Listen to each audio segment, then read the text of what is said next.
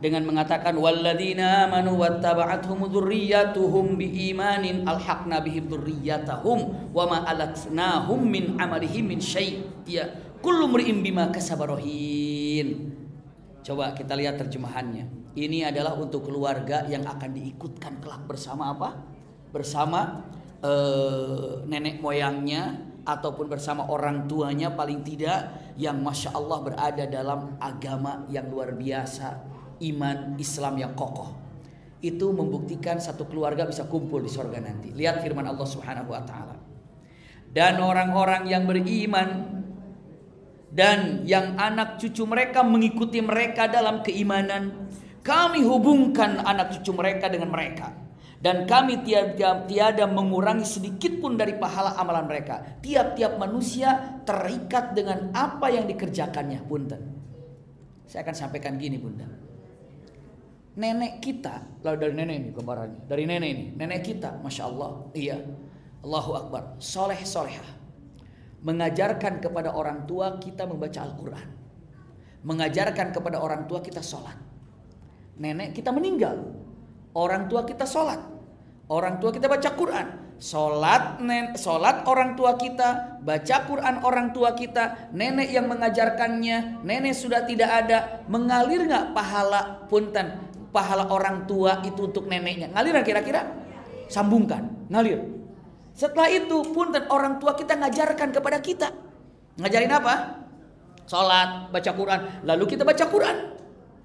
Orang tua sudah tidak ada, apalagi nenek. Maka bacaan Quran kita yang diajarkan oleh orang tua punten. Diajarkan oleh orang tua, maka sholat kita bacaan Quran ngalir untuk orang tua dan ngalir untuk nenek. Di sini dengan mengatakan tanpa mengurangi sedikit pun dari amalan mereka. Bukan berarti begitu saya dikirim, saya sholat nih, saya dapat sholat pahala misalnya 27 gitu kan.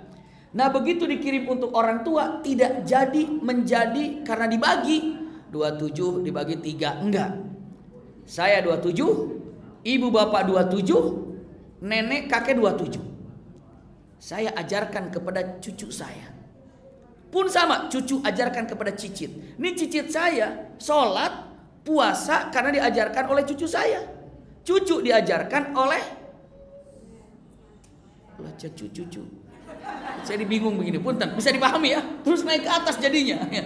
Jadi punten, cicit diajarkan cucu, cucu diajarkan anak kita, anak kita diajarkan kita, kita diajarkan orang tua kita, orang tua kita diajarkan oleh nenek kita, nenek kita diajarkan terus. Siapa yang mengajarkan inilah akan nyambung menyambung dan akan dikumpulkan kelak di akhirat dengan syarat iman. Maka punten, paling tidak terima kasih dengan pertanyaan ini. Karena penting paling tidak ibu bapak untuk mengajarkan kepada anak suratul fatihah sama kita lah gitu. Karena anak kita akan baca suratul fatihah terus. Masya Allah ya paling tidak surat-surat pendek mah kita yang mengajarkannya ini pendapat pertama pegang baik-baik dalam tafsiran yang pertama mengikuti dan waladina amanu wattaba'athum ya dzurriyyatahum biimanin alhaqna bihim dzurriyyatahum wa ma alatnahum min amalihim min syai' kullu mri'in bima kasabar yang kedua punten ada pendapat yang kedua wallahu alam. Yang kedua dengan menyebutkan ini adalah contoh begini. Bahkan ini e, luar biasa ya. Contoh begini. Jika ada dalam rumah tangga, ini pendapat yang kedua. Ternyata ada yang bisa umroh cuma satu orang. Misalnya anak pertama udah kerja, anak kedua udah kerja, bapaknya kerja, ibunya juga kerja misalnya. Ternyata cuman mau umroh cuma ongkosnya buat satu orang aja. Siapa yang harus diberangkatkan? Suaminya. Berangkat, bapak berangkat. Ibu tahan dulu. Kenapa? Karena pahala bapak berangkat itu akan menarik semuanya. Alat nahum turiyatahum. Bisa dipahami ya? Lagi kurban, Kurban kan satu kambing satu nih. Aduh ini cuma bisa satu kambing atas nama siapa ya? Ibu jangan atas nama mama dong sekarang nggak usah atas nama bapak saja. Karena itu kepala rumah tangga.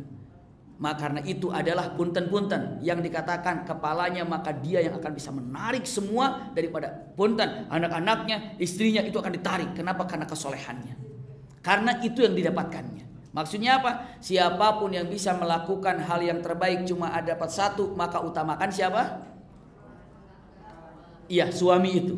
Suami itu datang. Kalau bapak dua ya ibu sama bapak silakan. Tapi kalau cuma satu, ini contohnya bapaknya. Karena di sini dengan mengatakan wallahu alam ini pendapat yang kedua dengan menyatakan ini kami dapatkan ketika kami dalam majlis ya. Syekh bagaimana kalau seandainya dalam rumah itu cuma satu orang yang bisa berkurban gitu kan?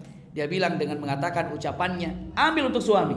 Kenapa? Karena dia gunakan dalil ini alatnahum di kalimatnya punten kalimat wattaba'athum dzurriyyatuhum iya diikutkan dzurriyyahnya dengan syarat mereka beriman subhanallah punten bagaimana kalau dia cuma bisa untuk satu umroh satu orang itu diberangkatkan suaminya masya Allah kadang-kadang dengan mengatakan nanti ajalah dulu kenapa biar bareng sama mamahnya baik sih niatnya tapi kalau dengan mengatakan siapa yang bisa menjamin untuk yang akan datang hidupnya. Tapi punten ini terserah. Namun beberapa ulama mengatakan ketika ada kesempatan untuk melakukan kebaikan atas nama siapa. Maka saat itu gunakan atas nama siapa?